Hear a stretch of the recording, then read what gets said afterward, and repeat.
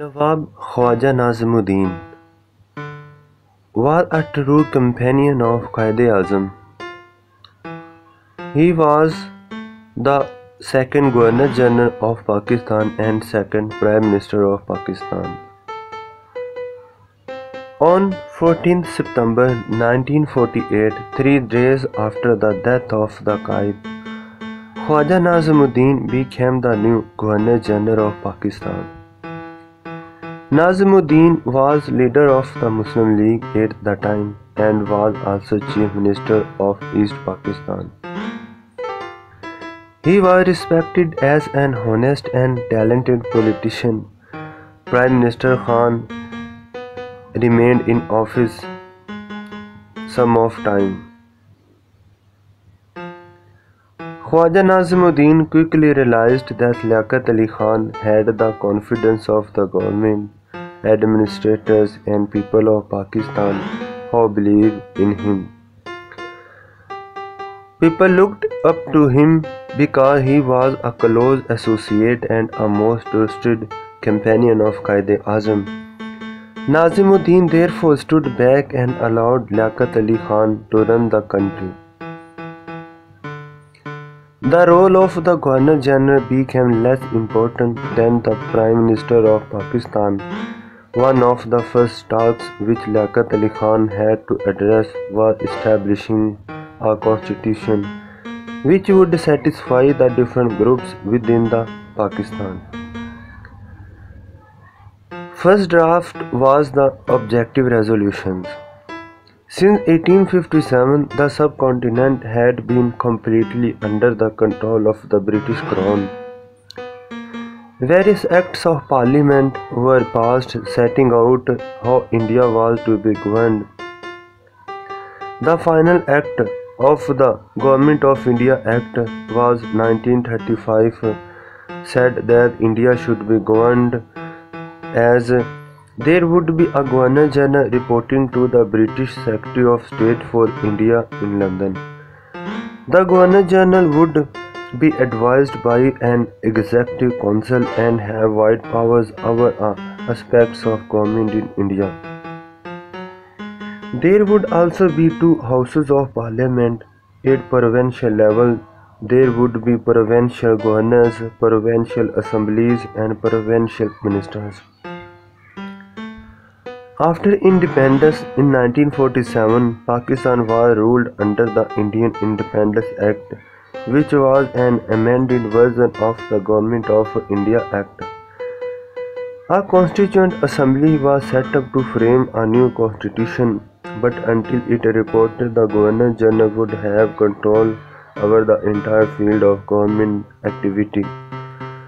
But under the control of the cabinet, however, as Pakistan lacked well-organized political parties and a prime minister with a stable majority in the legislature.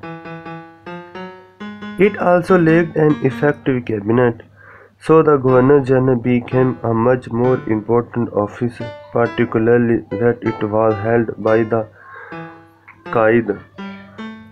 The Constituent Assembly had set up a basic principles committee to decide the principles on which the new constitution should be based. It had 25 members, about a third of the assembly. Its findings were contained in a document called the Objectives Resolution, which was passed on 12 March 1949 it declared the Constitution should observe the principles of democracy, freedom, equality, tolerance, and social justice allowed by Islam. Muslims would be able to lead their lives according to Islamic principles. Other religious groups should be able to practice their religion freely. Minorities and the poor would be legally protected from social injustice. All fundamental human rights should be guaranteed. The legal system should be independent of government.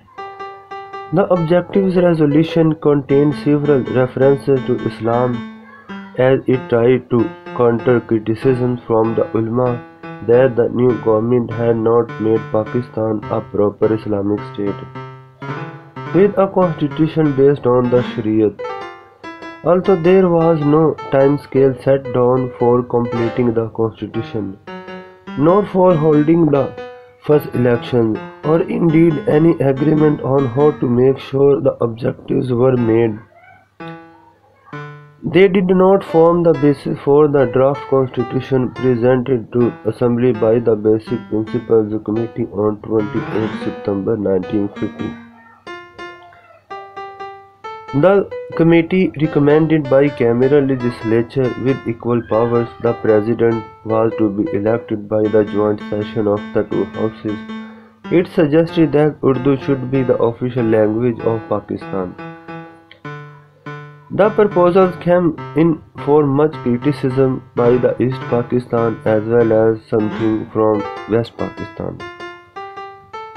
East Pakistan had a much larger population than West Pakistan and resented the idea of equal representation in the National Assembly.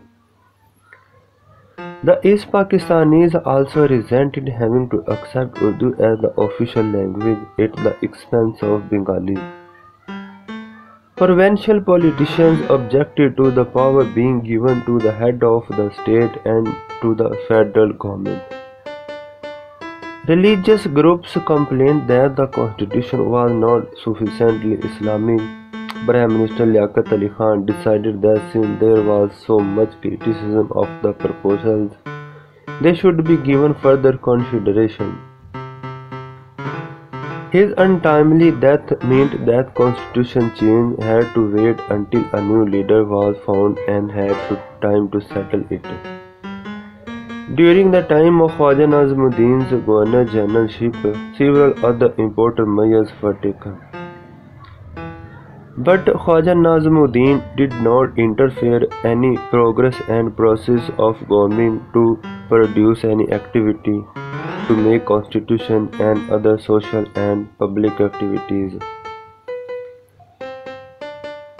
There was another major progress was to develop a act Public and Representative Officer Disqualification Act which was known as PRODA.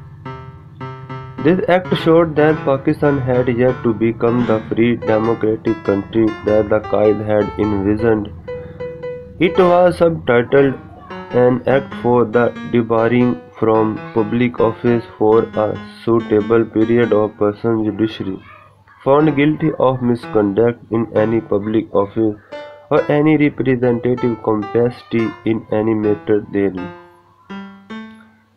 By these acts, complaints could be made to the Governor General or provincial governors who could order an inquiry by judges. Anyone found guilty under Proda was debarred from office.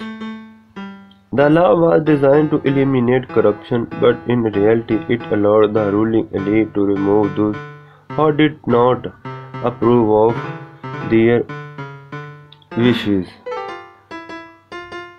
The problem of refugees In August 1947, the Qaid had called the refugee problem in Pakistan's grave emergency and had set the Central Refuge Council to deal with it.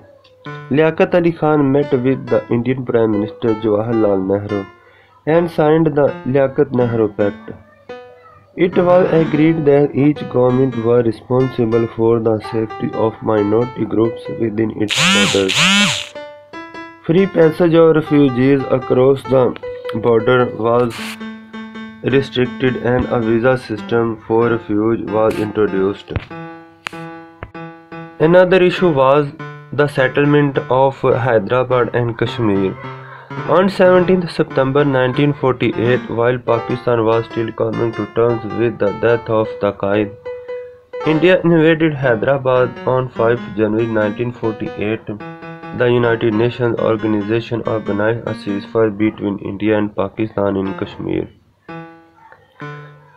However, there was no agreement over the future of Kashmir, so tensions looked like in time to come. In January 1951, Sir Douglas Gracey, the British commander-in-chief of the Pakistan Army, was replaced by General Ayub Khan, a Pakistani since partition Many army officers had complained about the presence of the British in senior positions. By 1951, most army officers were Pakistani. Despite this, some army officers unhappy with the government began to plan a coup to take over the government. In March 1951, this Rawalpindi conspiracy was discovered by Ayub Khan and the conspirators were arrested, tried and imprisoned. Amongst them was Major General Akbar Khan, Chief of General Staff and 14 other officers. Liaquat Ali Khan had survived his first coup, but his success was to be short-lived. He was shot dead by an assassin on 16 October 1951 while addressing a public meeting in Rawalpindi. He had worked tirelessly for the country and was a popular leader. The government gave him the title of Shahid Millat, a martyr for the cause of the nation. After it, the Khwaja Nazimuddin took the post of the Prime Minister. Khwaja Nazimuddin served the post of Governor General as neutral and he remained behind the scene. He promoted the activities of Liaquat Ali Khan and the era of Governor General as Liaquat Ali Khan served was an example of the neutral policy of any president or governor general by Pakistan.